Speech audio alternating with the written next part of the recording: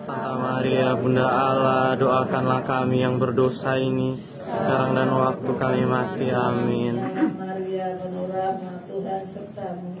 Terpujilah engkau di antara wanita dan terpujilah buah tubuhmu Yesus. Santa Maria, Bunda Allah, doakanlah kami yang berdosa, sekarang dan waktu kami mati. Amin. Kepada Bapa dan Putra dan Roh Kudus. Seperti pada permulaan, sekarang selalu sepanjang segala abad. Amin. Ampunilah dosa-dosa kami, selamatkanlah kami dari api neraka, antarkanlah jiwa-jiwa ke dalam surga, terutama mereka yang sangat membutuhkan kerahimanmu.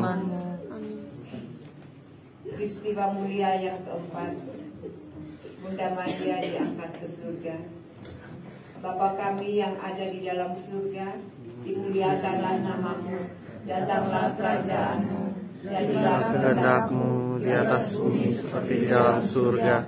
Berilah kami rezeki pada hari ini dan ampunilah kesalahan kami, seperti kami pun mengampuni yang bersalah pada kami. Dan janganlah masukkan kami ke dalam pencobaan.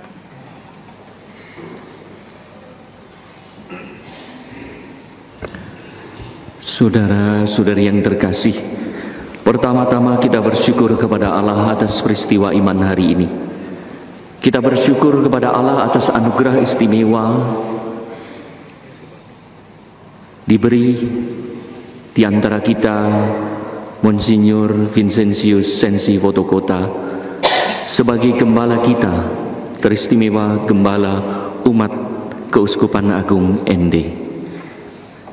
Terima kasih kepada Yang Mulia Bapak Kardinal Ignatius Suharyo yang berkenan memimpin perayaan Ekaristi ini. Dan Yang Mulia Duta Besar Vatikan untuk Indonesia, Uskup Agung Monsignor Piero Piopo yang turut hadir merayakan Ekaristi bersama dengan kita, juga dengan para uskup yang lain. Terima kasih kepada Pastor Paroki DPP yang Pastor Hani Rudi Hartoko SY yang telah menyediakan fasilitas gereja ini sehingga kita dapat merayakan misa bersama untuk Monsignor Vincentius Sensi Potokota. Bersama dengan para Bapak Kardinal, Nuncio, dan para Bapak Uskup, kita bukan hanya mengucapkan turut berduka cita yang dalam kepada keluarga, tetapi kami juga para uskup sebagai saudara dan sahabat sungguh merasa kehilangan atas kepulangan Monsignor Vincentius Sensi Potokota mendahulu kita pulang kepada Bapa. Setiap orang dipanggil untuk menjadi gembala yang baik satu sama lain. Teristimewa para imam dan uskup. Tidak otomatis imam dan uskup menjadi gembala yang baik ia tidak menghidupinya. Monsignor Sensi telah sungguh menghidupi bagaimana ia menjadi gembala yang baik, yang bijaksana. Yang bagi umat dan bagi rekan-rekan uskup tampil sebagai gembala yang penuh kebapaan, rendah hati dan bijaksana. Selalu membawa damai. Maunya mewartakan firman, menghadirkan Tuhan sebagaimana menjadi logo pastoralnya mewartakan firman baik atau dalam atau tidak baik. Maka dalam keadaan sakit maupun sehat ia berusaha untuk menghadirkan Tuhan.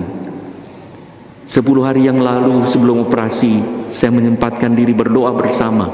Beliau mendawa buat tanda salib dan lima hari yang lalu dalam keadaan kritis turut mendampingi selama dua jam apa yang saya saksikan ada penderitaan ada ketegang tetapi tidak ada ketegangan. Yang ada adalah damai sejahtera. Itulah dalam keadaan baik atau tidak baik beliau mau mewartakan kehadiran Tuhan belas kasih Tuhan. Ia adalah gembala yang baik dalam waktu dekat kami kehilangan dua uskup Vincentius Sutikno Agustus 2023 dan kini Vincentius Sensi Potokota. Hadir juga di sini Vincentius Setiawan Triatmojo dari Lampung. Saya berkata, Bapak Uskup, terima kasih atas kehadirannya jauh-jauh dari Lampung. Beliau menjawab, bukan apa-apa, saya takut saya namanya Vincentius Supaya selesai, tidak ada Vincentius lagi yang dipanggil dalam waktu dekat. Bukan kata saya, tapi beliau sendiri yang mengatakan.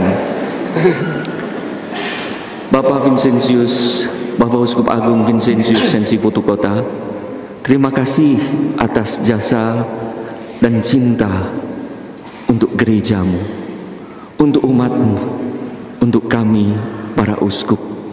Kehadiran Bapak Uskup luar biasa memberikan damai sejahtera. Doakanlah kami yang terus berjuang. Semoga kami dapat menjadi gembala yang baik yang membawa damai sejahtera. Kami semua berduka, kami semua kehilangan. Doakan kami, selamat jalan, Tuhan memberkati.